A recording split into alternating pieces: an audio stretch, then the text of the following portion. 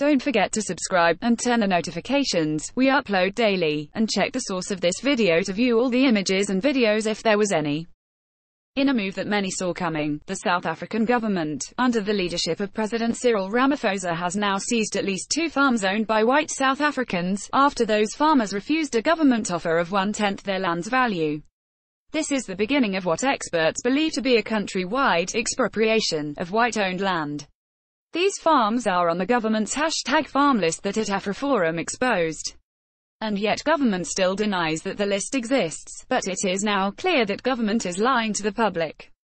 https colon slash slash t.co slash u40gou1 give Cali Creole, at Cali A August 19, 2018 trending, Dad dares daughter $100 to knock MAGA hat off guy's head, learns brutal lesson too late, video. Although many saw this coming for months, the Gateway pundit is now reporting that former American President Barack Hussein Obama apparently didn't since last month he traveled to South Africa and gave a speech at the 2018 Nelson Mandela Annual Lecture in Johannesburg which in addition to calling for guaranteed income, he also praised the South African president for inspiring great hope in this country. Then again, maybe he saw it coming but just didn't care. Australian media reported earlier this month that white farmers in South Africa were scrambling to sell off their land and leave the country after the government announced last week that it plans to pursue a constitutional change. This change would allow the state to seize land without offers, eviction notices, or any court cases. Hundreds of white farmers have already fled the country taking refuge largely in Australia where farmland is still plentiful and they are being persecuted because of the colour of their skin.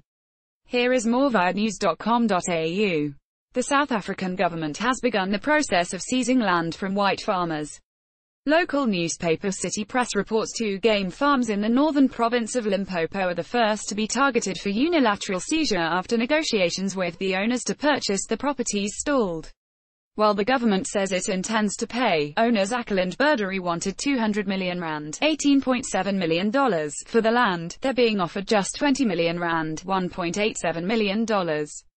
Notice is hereby given that a terrain inspection will be held on the farms on April 5, 2018 at 10 a.m. in order to conduct an audit of the assets and a handover of the farm's keys to the state. A letter sent to the owners earlier this year said, Akkerland Boerdery obtained an urgent injunction to prevent eviction until a court had ruled on the issue, but the Department of Rural Development and Land Affairs is opposing the application.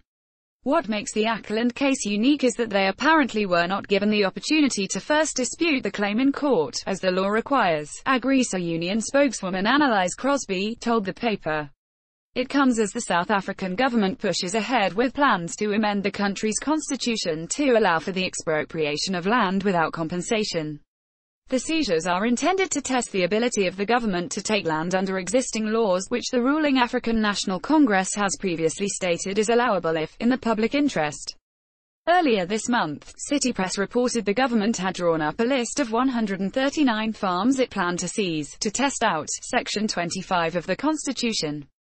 The newspaper said employees at the department had been ordered to press ahead with the process at the Land Claims Court. If the seizures go ahead, it would be the first time the state refuses to pay market value for land. Since the end of apartheid in 1994, the ANC has followed a willing seller, willing buyer process to redistribute white-owned farms to blacks. A 2017 government audit found white people owned 72% of private farmland in South Africa. According to the 2011 census, there are about 4.6 million white people in South Africa, accounting for 8.9% of the population. ANC spokesman Zizi Kodwa would not reveal details of the farms targeted and attempted to play down investor fears, saying the proposed seizures were tied to addressing the injustices of the past. Over time I think the markets as well as investors will appreciate that what we are doing is creating policy certainty and creating the conditions for future investment, he told City Press. AfriForum, a civil rights group representing the white Afrikaner minority, subsequently released what it claimed to be a leaked list of 190 farms being circulated in the department, inviting farmers to check if they were on it and asking them to get in touch, so that we can prepare for a joint legal strategy. The government hit back with department spokeswoman Linda Page telling News 24 the list was a fake. We don't know where they got it from, she said. There is no truth to this document. News 24 editor-in-chief Adriaan Basson slammed AfriForum for disgusting fearmongering in the highest degree. Will AfriForum take action against Deputy CEO Ernst Roets for distributing fake news? He tweeted. Will they apologize? We need cool heads, not arsonists, in this debate. On Sunday, Mr. Roets tweeted that the two farms, Salarita and Lucan, were the first two names on AfriForum's list. So the debate about the authenticity of the list is settled then, he said.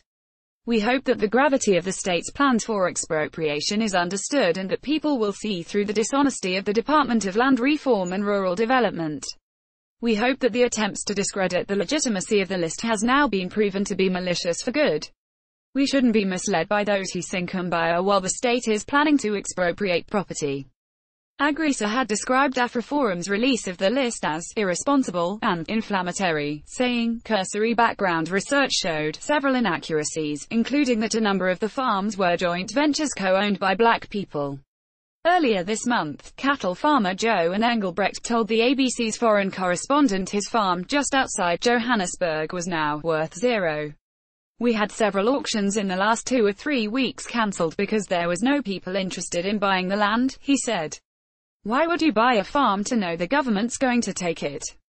Who wants to bet that by this time next year we will be seeing commercials on late-night TV here in the States asking for donations for the poor and starving people of South Africa, who because of their hate and outright ignorance have turned their nation into a cesspool of crime and pestilence pretty much doubt any of those farmers will ever be coming back since Australia is a great place to live. A place that offers peace and tranquility. Someone should really get the South African government a copy of George Orwell's Animal Farm.